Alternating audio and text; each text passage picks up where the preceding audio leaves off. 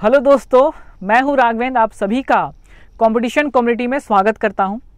आज की जो हमारी चर्चा है, वो मुख्य रूप से केंद्रित जो है, वो एस आई मेन्स जो भर्ती आने वाली है उस पर, और जो एडीओ का जो वैकेंसी जो सुनने में आ रहा है, उस पर रहेगी। तो देखिए, सबसे पहले अगर हम एडीओ के सिलेबस की बात करें तो इसमें इसमें टोटल जो सेक्शन है, वो पाँच सेक्शन में बटा हुआ है। जो पहला जो सेक्शन है वो जो है सामान्य ज्ञान का है, सामान्य ज्ञान। इस सामान्य ज्ञान में मुख्य रूप से छत्तीसगढ़ से संबंधित जानकारी आपसे पूछी जाएगी। पाँच सेक्शन में पाँचों सेक्शन तीस तीस नंबर के तीस तीस आपके प्रश्न आएँगे।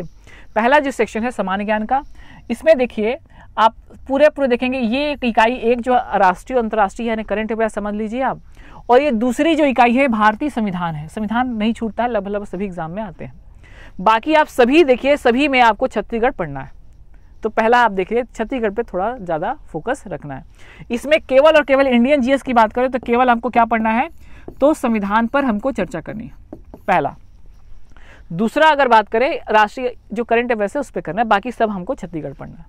जो दूसरा सेक्शन है, वो दूसरा सेक्शन आपका आजीविका का है, वो भी तीस नंबर का आएगा। यही सिलेबस थोड़ा सा लीक से हटकर होता है। क्योंकि बाकी जो एग्ज़ाम्स होते हैं, उसमें ये सब सिलेबस नहीं होता है आजीविका वाला सेक्शन नहीं होता। है बाकी आप एक चीज़ देखें ईजी कैसे है? जिनको मैथ्स रीजनिंग कठिन लगती है, वो मैथ्स रीजनिंग है नहीं। इंग्लिश नहीं है इसमें कंप्यूटर नहीं है, और बहुत सारी चीज़ें जीएस में होती है, था है हिस्ट्री है जोग्राफी है इकोनॉमिक्स है, बहुत सारी चीज़ें कट गई हैं। तो थोड़ा आप इजी कह सकते हैं। थोड़ा सा लीक से हटकर इसलिए है क्योंकि इसमें एक आजीविका का पोर्शन तीस नंबर का एक्स्ट्रा ऐड हो गया है। दूसरा आप अगर देखें, पंचायती राज है नेक्स्ट वीडियो में हम लोग पंचायती राज वगैरह पे चर्चा करेंगे। ये पंचायती राज का सेक्शन है, ये आपका तीस नंबर का। है ठीक उसके अलावा आपका ग्रामीण विकास की फ्लैगशिप योजना है। जब छत्तीसगढ़ आप पढ़ेंगे तो उसमें ग्रामीण विकास से संबंधित जितनी भी योजनाएँ हैं, वो आप पढ़ते ही होंगे। तो ग्रामीण से संबंधित जितनी योजनाएँ हैं, ये आपकी इसमें पूछी जाएँगी। क्योंकि काम भी तो वहीं करना है। उसी को इम्प्लीमेंट करना होता है, उसी में आपको वर्क करना होता है। और लास्ट में समान हिंदी का सेक्शन है, चूँकि हिंदी सबके लिए कॉमन है तो हिंदी का भी एक सेक्शन है। यानी पाँच सेक्शन है और तीस तीस नंबर के आएँगे, यानी डेढ़ सौ नंबर के आपके प्रश्न होंगे। तो इसमें देखिए जीएस में हमारा एक मिल गया, बस क्या और क्या है वो? संविधान। तो थोड़ा सा इसको ध्यान रखेंगे। और अगर हम एस आई मेन्स की बात करें तो एस आई मेन्स में देखें एस आई मेन्स में मुख्य रूप से पाँच पेपर है, ठीक? पाँच पेपर में सौ प्रश्न आएँगे आपको। जैसा कि राजपत्र में राजपत्र में लिखा है और 200 नंबर के होंगे, दो घंटे अवधि भी होगी, ऐसा लिखा है। डिटेल सिलेबस वो व्यापम आपका जारी करेगा। यही मुख्य मुख्य से बिंदु जो है, वो है। इसमें से जो तीन दिख रहा है स्टार्टिंग के सामान्य हिंदी और अंग्रेज़ी यानी लैंग्वेज का पेपर ये जीएस का पेपर और आपका एप्टीट्यूड यानी मैथ्स रीजनिंग का पेपर ये तीनों पेपर जो है, ये सबके लिए कॉमन है। सबके लिए क्या है ये? कॉमन है। यानी सभी, किसी भी पोस्ट के लिए आपने अप्लाई किया है, चाहे प्लाटून कमांडर हो एसआई हो रेडियो वाले हो, चाहे आपका कोई भी टेक वो हो टेक्निकल हो नॉन टेक हो, सबके लिए ये तीनों पेपर कॉमन है। आपको लैंग्वेज का पेपर देना है। आपको जीएस का जीके का पेपर देना है। ये जीके जीएस में याद रखिएगा। इसमें आपका हिस्ट्री पॉलिटी ज्योग्राफी सब कुछ आएगा, ठीक? तो इसमें भी आपका संविधान आपको मिल जाएगा, ठीक? थोड़ा इसको ध्यान देना है। उसके बाद एप्टीट्यूड में आपका मैथ्स और रीजनिंग आपको पढ़ना है, ठीक? जो ये वाला जो तो पेपर है, विज्ञान और कंप्यूटर वाला, ये जो टेक्निकल फ़ील्ड है, जो विशेष किसी में अप्लाई किए होंगे, उनको ये एक्स्ट्रा पेपर देने हैं। ठीक? मगर ये तीनों पेपर सबके लिए कॉमन है। हम इसी पे हमारी चर्चा भी रहेगी और इसी पे हम लोग बात भी करेंगे। ठीक है? तो सबसे पहले देखिए, सामान्य ज्ञान में हम लोग संविधान को उठाते हैं, क्योंकि संविधान एडीओ में भी कॉमन था और आपका संविधान जो है, आपका एसआई भर्ती में भी कॉमन है। ठीक है? तो चलिए संविधान देखते हैं, संविधान क्या है। देखिए, संविधान की अगर बात करें तो संविधान को अगर आप बांटो तो समधन विधान से बनता है। सम कहने का मतलब है, सम है, यानी सम मतलब जोड़ना। बांधना संकलित करना समाहित करना। और विधान का मतलब है नियम और कानून। जब हम नियम और कानूनों को एक जगह करके समाहित करके एक बंच बना देते हैं एक कम, आपका कंपाइल कर देते हैं एक जगह स्टोर कर देते हैं और उस बुक जब बन जाए उस बुक को ही हम एक नाम देते हैं उस टाइटल का नाम है संविधान। तो संविधान ऐसा कुछ अलग से चीज़ नहीं है। संविधान क्या है? नियमों और कानूनों का संग्रह है। ठीक है? कलेक्शन है ग्रुप है। और इसी को जब, देखो इसके इसके डेफिनेशन में भी आपको मिल जाएगा। ठीक है? संविधान क्या है? जोड़ना, बांधना, संकलित करना, समाहित करना, सम और विधान मतलब विधियों को, कानूनों को और नियमों को हम जब बाँध कर जोड़ देते हैं, एक जगह ग्रुप कर देते हैं और फिर उस बुक का नाम रख देते हैं संविधान। ठीक? तो संविधान ये है। तो संविधान तो बता दिए, मगर संविधान क्यों है? मुद्दा तो ये है कि है, ठीक है, मगर क्यों है? तो एक बात आप समझें प्यारे होता क्या है? जब आप अकेले हैं तो आपको किसी भी नियम की ज़रूरत नहीं है, किसी भी विधि की ज़रूरत नहीं है, किसी भी कानून की ज़रूरत नहीं। क्यों नहीं है? अकेले हो, एकदम बिंदास हो, ठीक? जब मन पड़ेगा, तब आप जो चाहोगे वो कर सकते हो। समझ रहे हो? जो चाहोगे वो कर सकते हो। आपको किसी भी नियम कानून की ज़रूरत है ही नहीं। मगर, जैसे ही आप समाज में आते हैं, लोगों के बीच में आते हैं तो एक दूसरे के हित टकराने लगते हैं। आप जब अच्छा करते हैं तो हो सकता है कि आपके कारण कोई किसी का नुकसान हो रहा हो, जब आप कुछ करने जाते हैं। ठीक? रोड पे गाड़ी चला रहे हो, अकेले हो, कोई दिक्कत नहीं, मगर सामने से अगर कोई गाड़ी आ रही है तो आपको एक नियम के तहत चलना है, नहीं तो फिर एक्सीडेंट हो सकता है और दुर्घटना घट सकती है। इसीलिए नियम बनाए जाते हैं। ध्यान दीजिए, नियम क्यों बनाए जाते हैं या नियम या विधि क्यों बनाई जाती है? ताकि किसी के हित न टकराएँ और समाज जो है सुचारू रूप से फ़ंक्शन कर सके और अपना विकास कर सके। उसमें आप भी अपना विकास कर सके। तो नियमों कानूनों की ज़रूरत है समाज को। अकेले रहते हो तो कोई ज़रूरत नहीं है, ये बनते ही नहीं। मगर समाज में रहना है, लोगों के साथ रहना है, ऐसे देश नहीं चलता, अकेले नहीं, सब लोग एक साथ मिलकर रहते हैं तो हमको नियम की ज़रूरत है। और एक ही नियम से बनेगा नहीं तो नियम कानून को हम लोग क्या करते हैं, मर्ज करके रहते हैं, इसलिए हम उसको संविधान कहते हैं। ठीक है? तो नियम कानून क्यों ज़रूरी है? क्योंकि समाज को सुचारू रूप से चलाना है, व्यवस्थित रूप से चलाना है और समाज को आगे लेकर जाना है। प्रशासन करना है, जो गवर्नमेंट है, उन लोग को प्रशासन करना है अच्छे से। जैसे एक एग्जांपल समझिए, मान लीजिए एक रोड है। रोड में लेफ़्ट साइड का रूल बना है कि लेफ़्ट साइड चलना चाहिए। दोनों जब चलते हैं तो आराम से क्रॉस कर जाते हैं। कभी कभी देखा होगा आप लोगों ने, कई लोग जल्दी के चक्कर में रॉन्ग वे रॉन्ग टर्न लेकर रॉन्ग वे से चले, घुस के आ जाते हैं। और उस समय क्या होता है? जाम लग जाता है। अब मैं कई लोग बोल रहा हूँ तो उसमें हो सकता है कि आप ही ने ऐसा कर दिया हो कभी। और जैसे ही जाम लगा तो वहाँ पर जो लोग हैं वो परेशान होते हैं। फिर क्या है? या तो वो फिर कैसे कोंटा उंटा पकड़ते हैं या फिर वो पीछे फिर गाड़ी को करते हैं। है ना? जाम लग जाता लोग रुक जाते यही प्रॉपर नियम अगर फॉलो करते तो सभी सुचारू रूप से व्यवस्था, जो ट्रैफ़िक है वो चलता रहता। तो सिंपल सी बात है, ये जो सिंपल सा लॉजिक है, ये पूरे समाज में काम करता है। और समाज का जो ये जो वर्ग है, वो नियमों कानूनों के बिना क्या हो जाएगा? एक प्रॉपर समाज नहीं चल पाएगा फ़ंक्शन नहीं कर पाएगा। इसीलिए ज़रूरी है। अगर परिभाषा की बात करें तो देखिए संविधान की परिभाषा ऐसे आप दो तीन में पढ़ सकते हैं। क्या है संविधान? तो नियमों, कानूनों और विधियों को जोड़ना, संकलित करना, समाहित करना ही क्या है? संविधान कहलाता है। ठीक है? इसके अलावा और क्या है? नियमों, कानून विधियों समूह संविधान कहलाता है, जिससे समाज क्या है? समाज सुचारू रूप से चल सके। ठीक है? और अपना विकास कर सके, यही हमारा संविधान है। ठीक? उसके बाद और क्या है? संविधान ऐसा दस्तावेज़ है जिसके द्वारा किसी भी देश की आपकी शासन व्यवस्था संचालित होती है। शासन व्यवस्था मतलब सुचारू से मतलब नियम कानून बनेंगे तभी तो चलेगी। तो शासन व्यवस्था चलाना है तो संविधान को पालन करना पड़ेगा, संविधान बनाना पड़ेगा। ठीक है?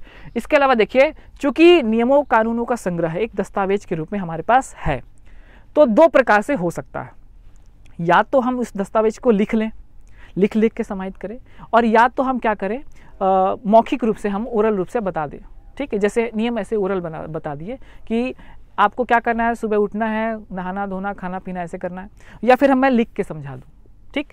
तो इस तरह से संविधान को भी समझाया जा सकता है। इस बेसिस पे अगर देखोगे तो संविधान दो प्रकार से बटा हुआ है। ठीक? पहला, लिखित संविधान, दूसरा, अलिखित संविधान। मगर क्या इतना ही है क्या? नहीं। ये इतना ही मीनिंग इसका नहीं है। इसका एक व्यापक मीनिंग है। चलिए आइए समझते हैं संविधान के प्रकार संविधान दो प्रकार के होते हैं, एक लिखित लिखन लेखन के आधार पर, लिखित संविधान और अलिखित संविधान। ठीक है? तो देखिए पहला हो जाएगा आपका कौन सा? लिखित संविधान। लिखित संविधान क्या है?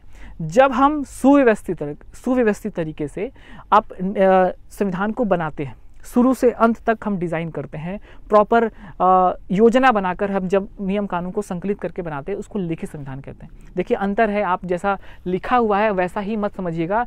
लिखित संविधान कहने का मतलब है, लिखित और अलिखित ये अलग अलग चीज़ है। ऐसा नहीं कि लिखा है तो लिखित और नहीं लिखा है तो अलिखित। ऐसा नहीं है। इसमें बहुत ही डिफरेंस है। इसको आज हम लोग क्लियर कर लेते हैं। ठीक है? देखिए, लिखित संविधान क्या है? ऐसा संविधान जिसमें नियमों, कानूनों को संग्रह लिख कर किया गया ठीक है लिख कर ये तो समझ में आ रहा है। मगर इसकी दूसरी लाइन देखिए इसमें लिखेंगे कैसे? तो इसमें प्रॉपर संविधान इसके नियम संविधान बन, नियम बनाने के लिए संविधान निर्मात्री सभा बनेगी कॉन्स्टिट्यूएंट असेंबली बनेगी। और वो क्या करेगी? तो माध्यम से एक ही बार में पूरा पूरे नियम बना लेगी। जितने भी नियम ज़रूरी हैं शुरू से लेकर अंत तक वो पूरे नियम एक बार में ही बन जाएँगे। ठीक है? तो ये आपका क्या हो जाएगा? लिखित संविधान हो जाएगा। अलिखित संविधान कैसा होगा? तो अलिखित संविधान, ऐसा संविधान जिसमें नियमों, कानूनों का संग्रह जो है, योजनाबद्ध तरीके से नहीं किया, इस पे फोकस कीजिएगा। योजनाबद्ध तरीके से नहीं किया गया। योजनाबद्ध तरीके से कहने का मतलब है, इसके लिए कोई संविधान निर्मात्री सभा नहीं बनी है। कोई कॉन्स्टिट्यूएंट असेंबली नहीं बनी कि आज बैठे और पूरा नियम बना लिए। ठीक, ऐसे एग्ज़ाम्पल समझो आप। ठीक है? जैसे मान लो, आपने, आप गार्डन गए। और आपने कोई प्री प्लानिंग नहीं की है। आ, आपने क्या किया? सीधा रेंडमली सिचुएशन देखा ठीक है? अकेले पाया और फूल दे दिया। ऐसे एग्ज़ाम्पल समझ लीजिए थोड़ा कि आपने फूल दे दिया। और उसके बाद जैसे रिएक्शन आपने देखा कि उधर नीचे से चप्पल या सैंडल उठ रहा है तो सिचुएशन के अकॉर्डिंग क्या किया आपने? मूव कर लिया ठीक है? तो सिचुएशन के अकॉर्डिंग आपने नियम बनाए ठीक है? उसको हम लोग क्या बोलेंगे? अलिखित संविधान। और अगर आपने योजना बनाई, योजना बनाकर काम किया, जैसे आज मैं जाऊँगा, बस्ते में दो ठो समोसा रख दूँगा, फिर खाया जाएगा, फिर पूछा जाएगा, फिर किसने दिया, फिर तारीफ़ होगी, पूरा नियम बना दिया एकदम, और उसको एक साथ प्रस्तुत कर दिया, वो हो गया लिखित संविधान। थोड़ा अंतर है, और लिखित का मतलब ऐसा नहीं है कि लिखा ही नहीं गया ऐसा नहीं है, ये गलत है, और लिखित का मतलब है योजनाबद्ध तरीके से नहीं लिखा गया। जब जब ज़रूरत पड़ी है, तब तब उसको जोड़ दिया गया। ठीक, जैसे मैं आपको बताऊँ ब्रिटेन का जो संविधान है, वो अलिखित संविधान है। वो लोग क्या किए? उनके लिए कोई नियम कानून बनाने के लिए एक साथ कोई नहीं आया। क्या हुआ? उनको लगा कि अरे समाज में ये वाला चीज़ करना चाहिए। तो उन लोग वो आए, बैठे और लिख दिए। फिर कुछ सालों बाद लगा कि नहीं, ये भी जोड़ना चाहिए। उन्होंने आया और बैठा, एक नियम लिख दिया। ऐसे कर करके उनकी बुक बनी है। ऐसा नहीं है कि कोई एक ही दिन आया, जैसे हमारे यहाँ हुआ। एक ही दिन आए 1946 में बैठे, उसके बाद करते करते आपका पचास तक बना डाले। ठीक, पूरा बना दिया, दो साल, ग्यारह में अट्ठारह दिन में बना डाले। ठीक? तो ऐसे नहीं हुआ है कि एक साथ, क्योंकि इसमें देखो, इसमें क्या होगा? कॉपी पेस्ट भी होगा। वो लोग ज़रूरत के हिसाब से नियम को बनाते थे। ठीक? हमने क्या किया? हमने सारे नियम बना दिए। हाँ आगे ज़रूरत पड़ेगी, नहीं पड़ेगी, कई नियम तो ऐसे हो गए कि इसकी कभी ज़रूरत ही नहीं पड़ी। बाद में संविधान में क्या है? लोग हटाते हैं, इस संशोधन होते हैं। तो ये चीज़ें फिक्स हो गई। तो थोड़ा इसमें इसमें और अंतर की ज़रूरत है। देखें, इसको और अच्छे से समझते हैं कि इसमें और क्या अंतर है। याद रखिएगा, इसमें संविधान निर्मात्री सभा के माध्यम से क्या होता है? एक ही बार में लागू कर दिया जाता है, बना दिया जाता है। ये समय समय पर क्या होता है? बनता है। ठीक? इसमें समय समय बनता है, इसलिए इसकी कोई तारीख नहीं होती है। कोई निश्चित तारीख नहीं हुई। इसकी एक तारीख होगी कि जिस दिन संविधान लागू होगी। जैसे 26 नवंबर उन्नीस का हमारा संविधान बनकर तैयार हुआ। इसका कोई तारीख नहीं होगा क्योंकि ये समय समय पर आगे बढ़ता है। ये अंतर है। और अंतर स्पष्ट करते हैं, देखिए। लिखित संविधान की बात करें तो लिखित संविधान में हमेशा सर्वोच्च जो होता है वो संविधान होता है। संविधान सर्वोच्च होगा ना? कैसे सर्वोच्च होगा? प्रश्न आते हैं कि हमारे भारत में कौन सर्वोच्च है? आपका राष्ट्रपति है, प्रधानमंत्री है, न्यायपालिका है, यानी संविधान है। तो कभी भी याद रखेगा जहाँ पर लिखित संविधान हुआ होगा, हमारे भारत का संविधान लिखित है तो वो हमेशा संविधान ही सर्वोच्च बताएगा। ठीक है? तो हमारे यहाँ सबसे बड़ा यह कौन होता है? तो संविधान क्या होता है? सर्वोच्च होता है। ये यहाँ पर कंसेप्ट नहीं है, लिखित संविधान का ही कंसेप्ट है कि जहाँ पर लिखित संविधान है, वहाँ पर संविधान सर्वोच्च होता है। ठीक? और जहाँ पर मौखिक यानी अलिखित संविधान है, वहाँ पर जो पार्लियामेंट है, यानी संसद है, वो सर्वोच्च होती है, क्योंकि वही नियम बनाती है ना, वही सर्वोच्च। ठीक? याद रखिएगा, ये पहला पॉइंट दूसरा, ये अधिनियमित होना, इन एक्ट किया जाता है, यानी इसको लागू किया जाता है। इसको लागू कब किया गया? 26 नवंबर उन्नीस सौ उनचास को। ठीक? ये अधिनियमित नहीं होता, ये इसका अवल्यूशन होता है, यानी उद्भव होता है, धीरे धीरे धीरे धीरे क्या होता है? इसका विकास होता है, और एक एक संग्रह बनता है। ठीक? तो इसलिए कोई डेट की ज़रूरत ही नहीं। ठीक? उसके बाद देखिए, इसमें क्या है? इसमें लागू होने की तिथि होती है। इसमें लागू होने की तिथि होगी कहाँ पर? आज नियम एक जोड़ दिए, दस साल बाद एक और जोड़ दिए। फिर उसके बाद दस साल बाद एक और जोड़ दिए। जुड़ते गया। उनके भाग बढ़ते गए। हमारे फिक्स हैं। बाईस भाग मतलब बाईस भाग। कख कख अंग करते रहो। ठीक है? मगर बाईस भाग फिक्स हो गए हैं। आपने सुना होगा कि हमारे मूल संविधान में कितने भाग थे? बाईस भाग थे, तीन सौ पंचानवे अनुच्छेद थे, ऐसे करके। तो ये सब होता रहा। हम लोग को जैसे जैसे लगता है, जोड़ते रहते हैं। बट ये क्या है? ये धीरे धीरे धीरे धीरे इसका क्रमित विकास होता है। ठीक? हमने एक बार में बना लिया और ये एक बार में नहीं बनाते हैं, ये धीरे धीरे बनाते हैं। और ज़्यादातर देखेंगे, ये ज़्यादा मॉडल सक्सेस है, क्योंकि देखो, इसमें कॉपी पेस्ट की संभावना नहीं है। समाज जैसे जैसे ज़रूरत पड़ती है वैसे वैसे बनाते हैं। हम लोग क्या किए? देखे और कॉपी कर लिए। इसलिए थोड़ा सा ये क्या होता है? जटिल होता है, क्योंकि इसमें जो प्रावधान होते हैं, ये फ्यूचर के भी जोड़ दिए जाते हैं। हो सकता है वैसे सिचुएशन आए ही ना, और या हो सकता है ऐसा सिचुएशन हमने सोचा ही ना हो। इसलिए थोड़ा जटिल होते हैं। जटिल देखो, और और विस्तार से चर्चा करेंगे फिर जटिल पे। मान लीजिए जब संविधान निर्माती सभा बना रही थी तो क्या उन्होंने सोचा था कि मोबाइल आ जाएगा? इस तरह से हम बात कर पाएँगे। कभी नहीं सोचा होगा, ठीक है? तो हालाँकि उसके बाद ज़रूरत में हम लोग संशोधन किए, मगर यहाँ पर संशोधन ज़रूरत नहीं है। जब उनको लगा तो उन्होंने आईटी एक्ट बना लिया, ठीक? तो इस तरह से आपको समझना है, और ये संविधान बनता रहा तो अलिखित या मौखिक संविधान कहने का मतलब ये सब बिल्कुल नहीं है कि लिखा हुआ नहीं है। ठीक, ये क्लियर रखना है। उसके बाद देखिए, नियोजित नियोजित मतलब प्लान करके बनाया जाता है कि हाँ हमको इतना साल लगा, ऐसे बनाना है इतने लोग होंगे, ये कमिटी होगी, ऐसे बनेगा, संविधान निर्मात्री सभा होगी, ठीक, ये यह प्लान नहीं होगा, नियोजित नहीं होगा, ये रैंडम होते जाएगा, ठीक है जैसे जैसे ज़रूरत होगी, वैसे वैसे होगा। एग्ज़ाम्पल की बात करें तो भारत का संविधान और लगभग लगभग 99 परसेंट जो संविधान है, वो सब के सब कॉपी पेस्ट यानी लिखित संविधान है, ठीक। और ये जो मौखिक संविधान की बात करें तो ब्रिटेन का संविधान जो है, वो जो है अलिखित संविधान में आता है। इतना आपको याद करना है, समझना है। ठीक है, हम बेसिक से लेकर चलेंगे धीरे धीरे हम लोग इस पूरे को सेशन को कंप्लीट करेंगे। ठीक है, पूरा हम लोग संविधान को देख लेंगे। देखिए, और बात करें संविधान की तो देखो, इसमें कुछ वन लाइनर भी बनते हैं। जैसे, विश्व का प्रथम संविधान कौन सा होगा तो ब्रिटेन का हो जाएगा। विश्व का पहला लिखित संविधान कौन सा होगा? वो भी ब्रिटेन का हो जाएगा। विश्व का पहला लिखित संविधान कौन सा हो जाएगा? तो वो इंग्लैंड सॉरी आपका यूएसए का हो जाएगा और विश्व का सबसे बड़ा लिखित संविधान भारत का हो जाएगा। तो ये वन लाइनर आप याद रखेंगे। ठीक, क्योंकि ब्रिटेन ने धीरे धीरे धीरे धीरे क्या किया, अपने संविधान में चीज़ें जोड़ी और जैसे अमेरिका है, उसने क्या किया, उसने एक साथ बैठकर संविधान पूरा बना दिया। तो यही अंतर होता है। ठीक, उसके बाद और बात करें तो देखो, संविधान में अगर अंग की बात करें ठीक संविधान जो संविधान की मदद करते हैं संविधान का कार्य करते हैं। संविधान क्या है? नियमों कानून का संग्रह तो बस इतना ही है क्या? तो नियम कानून आएँगे कहाँ से? आएँगे तो उसको लागू भी तो करवाना पड़ेगा कि बस उसको एकदम फ्रेम करवा के रख लिया। हाँ ये नियम है।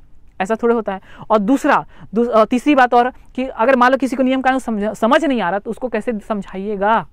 उसको भी समझाना पड़ेगा ना? तो ये आपको याद रखने देखो वे संस्थाएँ जो संविधान का कार्य करती हैं उनको क्या कहते हैं? संविधान का अंग कहते हैं। और अंग, देखिए, संविधान के कार्य करने के आधार पर संविधान के तीन भागों में है, या तीन अंग हैं, ठीक है? कौन कौन से हैं? तो पहला है आपका विधायिका। विधायिका जो है, देखो, इसमें विधि शब्द जुड़ा हुआ है। विधि यानी विधायक लेजिस्लेटिव यानी होने, कहने का मतलब जो नियम कानून बनाते हैं। तो नियम कानून कौन बनाता है? जो नेता लोग एक बार स्पष्ट रखिएगा, जो नेता लोग होते हैं ना, वो सारे के सारे क्या हो जाएँगे? विधायिका क्या होंगे। देखो, और कौन कौन होगा? राष्ट्रपति होंगे, क्योंकि उनके साइन के बाद नियम बनता ही नहीं। मंत्री, चूँकि सांसद ही मंत्री होते हैं तो वो मंत्री जो होंगे, वो भी विधायिका के अंग होंगे। सांसद तो होगा ही, नेता लगा और आपका विधायक भी जो होते हैं, वो भी विधायिका के अंग माने जाते हैं। उसके अलावा कार्यपालिका कार्यपालिका देखिए, कार्यपालिका का भी सुप्रीम कौन होता है? राष्ट्रपति ही होता है वही ऑर्डर देता है। सारे काम राष्ट्रपति के नाम से ही होते हैं। उसके बाद जो मंत्री होते हैं, वो भी कार्यपालिका, यानी काम करवाते हैं, भाई, नियम बन गया तो काम करवाना है। उसके बाद सरकारी जो अधिकारी होते हैं, वो भी क्या होते हैं, आपके कार्यपालिका के अंग होते हैं। ठीक है? काम करवाना है उन लोग को। इन लोग कोऑर्डिनेट करके चलते हैं। बन गया, फिर करवाना है। ठीक है? फिर फीडबैक लेते हैं कि कुछ और बनाना है, कि संशोधन करना है। मगर एक और चीज़ है, न्यायपालिका। न्याय तो करती ही है। साथ में ये भी जनता को मान लीजिए नियम कानून समझ नहीं आ रहे हैं। ये समझाने के लिए थोड़े बैठी है। ठीक, नहीं बैठी है? तो क्या करेगी ये? तो ये क्या करेगी? न्यायपालिका इसको समझाने का भी कार्य करती है। तो इसको याद रखिएगा, न्यायपालिका को परिभाषित। परिभाषित करने का काम कौन करेगा? तो न्यायपालिका करेगी। इसको याद रखिएगा और साथ साथ न्याय करने का भी काम करती है। तो ये दो तीन बातें आपको याद रखनी है। चौथा अंग जो है वो आपका, ये तो तीन ही अंग है, बस चौथा अंग मीडिया को माना जाता है। ठीक है, किसको माना जाता है? चौथा अंग मीडिया को माना जाता है। देखिए, तीन अंग है बट आपसे जब पूछे कि संविधान का चौथा अंग क्योंकि देखो, विधायिका को भी प्रभावित करती है, कार्यपालिका को भी प्रभावित करती है और न्यायपालिका को भी कई सीमा तक प्रभावित करती है। इसीलिए मीडिया को संविधान का चौथा स्तंभ माना जाता है। इसको याद रखिएगा। ठीक? तो इस पर चर्चा रहेगी। उसके बाद देखिए संविधान को हम लोग अच्छे से देखते हैं कि कैसे, जैसे मैंने बताया कि अलिखित संविधान, लिखित संविधान तो कैसे आया? इस पर हमारी अगली अगली चर्चा रहेगी। तो संविधान का निर्माण, उद्भव और विकास कैसे हुआ? विश्व में कैसे संविधान आया? फिर भारत में कैसे संविधान आया? इस पर हम लोग नेक्स्ट वीडियो में चर्चा करेंगे। ठीक है? आज के लिए इतना ही रखते हैं। ठीक? ओके? Thank you.